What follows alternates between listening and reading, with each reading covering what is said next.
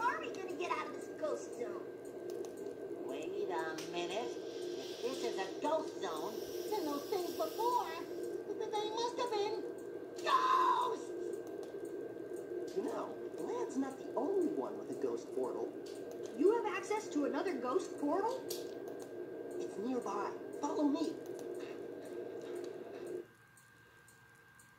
Fascinating. This looks like ghost hunting technology. Did you make these devices yourself?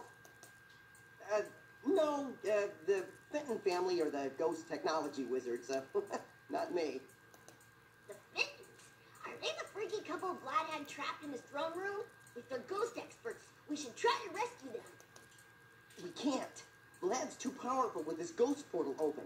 We need to find some way to shut it down. If I spend some time studying these devices, perhaps we can build a gadget to close the portal. This is no time to be studying.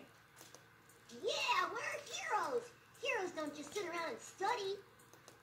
You're right. Heroes go out and save the world. All right, let's get going. We'll figure out a plan once we get to Vlad's castle.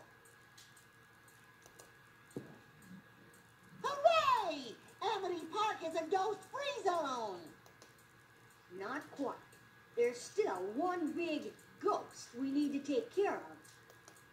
Let's close his portal for good.